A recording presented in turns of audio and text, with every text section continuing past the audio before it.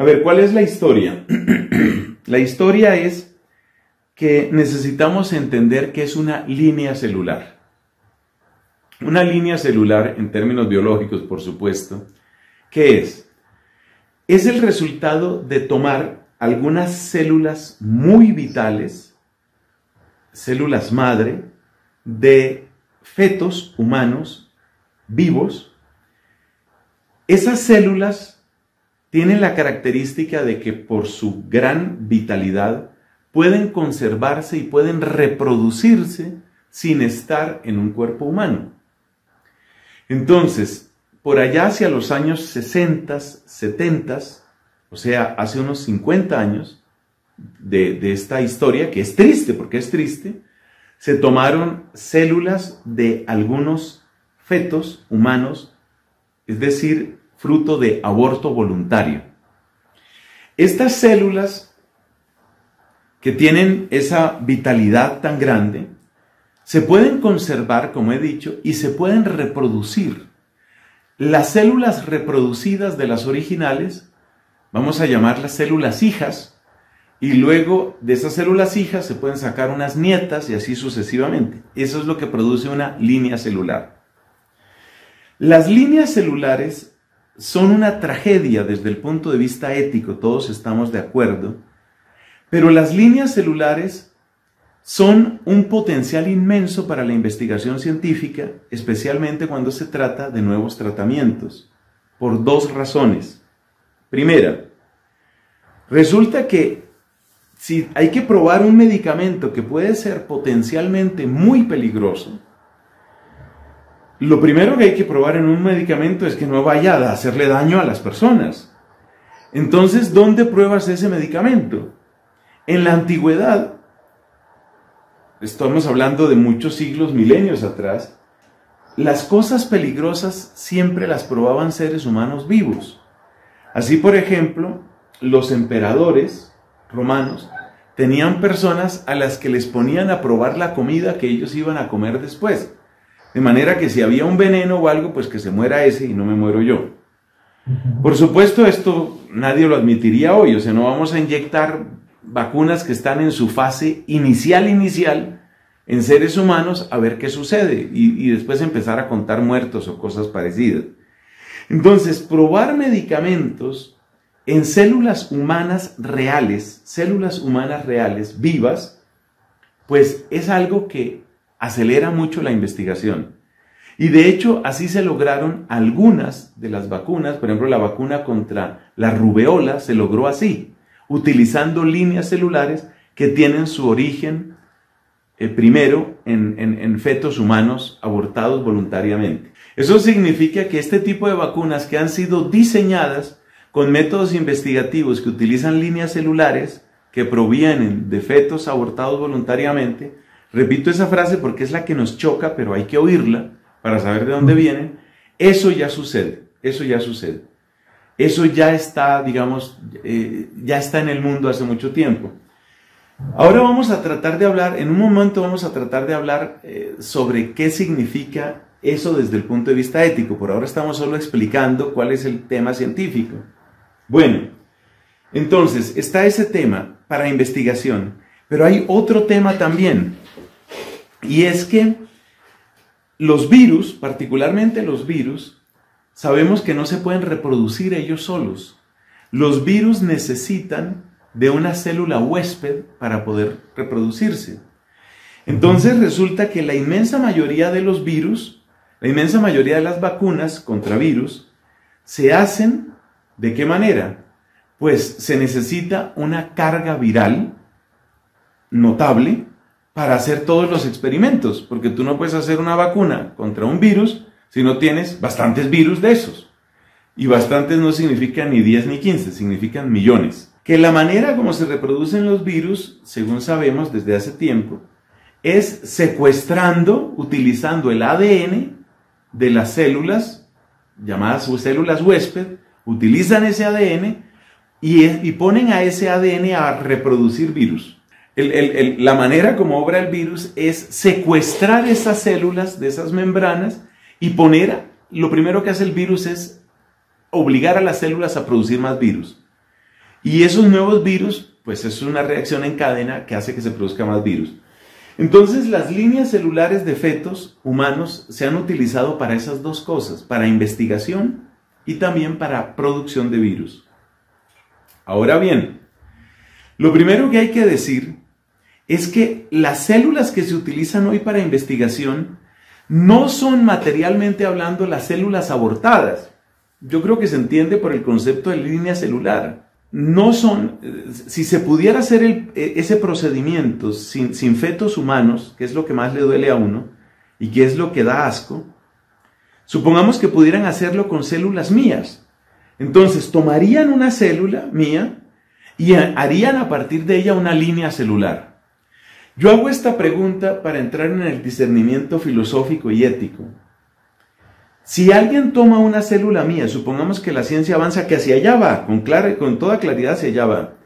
Si, supongamos que alguien toma una célula mía, pues un grupo de células mías, y hace una línea celular. Las células hijas de ese procedimiento científico, las células hijas, son Nelson Ahí es donde empieza la pregunta ética. Claramente esas células hijas ya no son Nelson. Y las células nietas, pues tampoco. Y aquí estamos hablando de que se ha hecho ese procedimiento en ciertas condiciones, pues que garanticen la optimización científica. Se ha hecho ese procedimiento miles de veces. Yo no podría responder cuántas veces se ha hecho ese procedimiento de obtener células de células anteriores, de células anteriores, de células anteriores, o sea que las células que se utilizan hoy tienen su origen remoto en un crimen que se realizó, pero esas células no son, desde el punto de vista filosófico, no son esa persona. Por otra parte, el procedimiento de elaboración de la vacuna, pues necesita obviamente la producción de estas, eh, la producción de estas, de estos virus, lo cual se logra a través de células, como ya se ha dicho, y aquí entra un tema médico y científico y ético muy complicado, y es que al parecer dentro de esos procedimientos quedan restos, pueden quedar restos del ADN de las células originales. Células originales significa aquí las células con las que se hizo el procedimiento, no las células que vienen, eh, las células que fueron extraídas hace 40 o 50 años. Entonces sí pueden quedar pequeñas cadenas de ADN, pequeñas cadenas de ADN de células humanas, sí pueden quedar en algunos de estos procedimientos eh, de elaboración de vacunas. Este es un dato muy importante para quienes son enemigos de las vacunas. Sabemos que hay, hay un movimiento eh, con mucha fuerza, un movimiento antivacunas con mucha fuerza, que se opone no solamente a la vacuna contra el COVID, sino se opone a, toda vacuna, a toda vacuna, particularmente a las vacunas que han tenido este procedimiento con células humanas, porque ellos dicen, esas células humanas quedan activas de alguna manera, ya no son células humanas. Fíjate de lo que estamos hablando. Las células primigenias, vamos a llamarlas así, la del individuo que fue asesinado, esas células no están ya, obviamente, esas células ya desaparecieron. Las células originales del procedimiento científico, o sea, las que se utilizaron, ya no son esa persona, pero provienen de esa persona. Esas células que llamamos aquí originales, esas células originales tampoco están en la vacuna. Lo que puede haber potencialmente en la vacuna son pequeñas cadenas de ADN de esas células humanas. Y esas pequeñas cadenas de ADN pueden en algún momento interactuar con algunas células de la persona que es vacunada. Y en algunos casos esas reacciones, esas eh, células eh, o esos restos de ADN pueden interactuar con algunas células de algunas personas y pueden producir reacciones secundarias que pueden traducirse en alergias o en otro tipo de cosas. O sea, fíjate ¿A qué distancia nos encontramos del crimen que se cometió hace 50 años? Estamos diciendo que existe la posibilidad, que las células no son las primigenias, pero que existe la posibilidad de que algunas pequeñas cadenas de ADN se encuentren en las vacunas y en algunas personas interactúen en algunas células para producir algunos efectos secundarios. Cuando se hacen todas estas consideraciones, que son las que algunas personas no tienen la paciencia de hacer, no tienen realmente la paciencia de hacer, entonces, ¿qué es lo que, qué es lo que dice la gente? Más o menos lo que tratan de hacer, pero es por tratar de ganar una discusión, lo que tratan de hacer es que cuando se inyecta a la persona, ya se le están inyectando células de feto. Más o menos eso es lo que, lo que, lo que venden. Y, y si uno hace el análisis se da cuenta que realmente estamos en una distancia material enorme. Distancia material quiere decir entre el individuo que fue asesinado y lo que está sucediendo ahora. Estamos en una distancia material enorme y es totalmente inapropiado e inexacto decir que hay células. Eso es mentira puede haber algunas cadenas de ADN que en algunas personas pueden tener algunas reacciones. Sin embargo, de lo cual, como en el procedimiento científico, evidentemente hubo en el origen, en el primer origen, hubo un crimen, la iglesia dice, hay que presionar a las farmacéuticas, hay que presionar a las farmacéuticas para que utilicen otros medios de investigación, otros modos de investigación que no tengan nada que ver con cadenas, con líneas celulares de estos defectos humanos. Y entonces, ¿por qué el Vaticano aprobó? Obviamente, habrá gente que diga, porque el Vaticano ya no es la iglesia, porque ya le dieron la espalda al Evangelio, porque el Papa no es Papa y te revuelven todo con todo. Realmente la declaración del Vaticano es muy precisa. Dice, si no hay una alternativa, Siempre será, eh, será preferible un procedimiento médico que no tenga ninguna relación. Pero si no hay una alternativa que sea viable, tampoco podemos permitir que se produzcan contagios masivos, un colapso de toda la sociedad en términos económicos y empezar a ver los cuadros terribles que ya se están viendo en ciudades como Los Ángeles y en otras ciudades, en donde las ambulancias, ambulancias que van hasta un sitio para recoger a un paciente que ya necesita respirador, que ya necesita hospitalización, y mientras la ambulancia va al sitio, le responden, le dan informe al conductor de la ambulancia, no recoja a ese paciente, no hay ningún lugar a donde llevarlo. Esa es una sentencia de muerte, esa es una sentencia de muerte. Entonces yo digo, eh, esa es la posición del Vaticano. De la posición del Vaticano es, por supuesto, que no es éticamente inmaculado el procedimiento, pero la colaboración que podría pensar, que podría prestar la persona que se vacuna en esas condiciones, la colaboración que podría prestar es remotísima, solo material y completamente pasiva. Y esos son tres atenuantes muy grandes. Y por eso dice, si no hay una alternativa mejor, vacúnese. Porque la otra posibilidad es empezar a ver que se multipliquen casos de personas y llegue la ambulancia y diga, no puedo recogerlo. Y no puedo recogerlo, sabemos lo que significa. Muera, muérase ahogándose ahí en su casa. Entonces yo digo a las personas que se oponen tan ferozmente a estos temas, yo digo a esas personas, ¿usted considera que eso es humano? ¿Usted considera que eso es cristiano? Eso es lo que tenemos que tener en cuenta.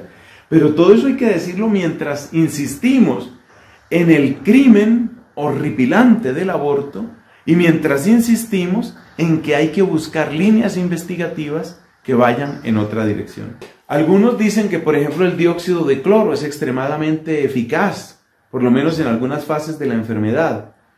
Yo no soy científico, trato de informarme lo mejor posible, pero yo no soy científico. Si eso es así, por supuesto que hay que darle difusión. Y por favor que los científicos se pronuncien masivamente a ese respecto. Lo que yo tengo entendido es que tratamientos como el de dióxido de cloro tienen un buen margen de resultado en ciertas fases de la enfermedad, digamos cuando no está demasiado avanzado, y como en muchos otros casos en ciertos organismos.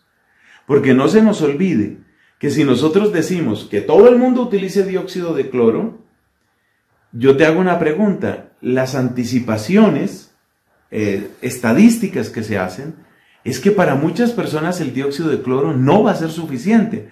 Entonces, si no vacunamos y si solo utilizamos dióxido de cloro y si se empiezan a producir esos colapsos en las clínicas, entonces, ¿qué les vamos a decir a ellos? Que era voluntad de Dios que se muriera su mamá, su hermana, su esposo. Es que eh, uno como sacerdote, uno como sacerdote ve estos dramas casi todos los días en esta situación. Y es que la gente cree que solo se están muriendo los de muy avanzada edad. Esta semana pasada ya me he encontrado con dos casos de personas de 40 y de menos de 50 años de edad que dejan hijos pequeños que dejan unos vacíos, líos, heridas terribles. Todo ese drama también hay que tenerlo en cuenta. O sea, para hacer estos discernimientos uno tiene que tener en cuenta todos los factores, darse cuenta de todo.